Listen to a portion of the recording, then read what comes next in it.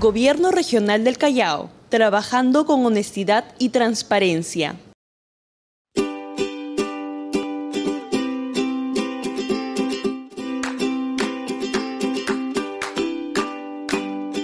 Hola, soy Patricia Chuquiano, especialista en cine, y el día de hoy te invito a ver la película Machuca de Andrés Gut, guionista y director chileno. Good ha dirigido películas como Historias de fútbol, La buena vida, Violeta se fue a los cielos, entre otras.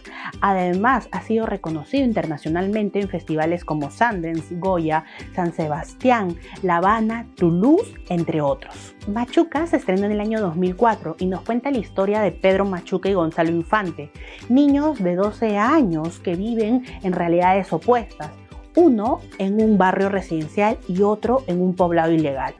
McEnroe, un sacerdote idealista de un colegio privado, con ayuda de los padres, busca incluir a niños de este poblado ilegal en el colegio.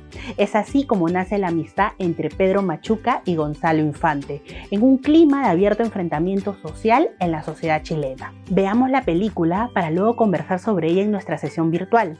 No olvides tomar nota de tus dudas e impresiones para interactuar en vivo.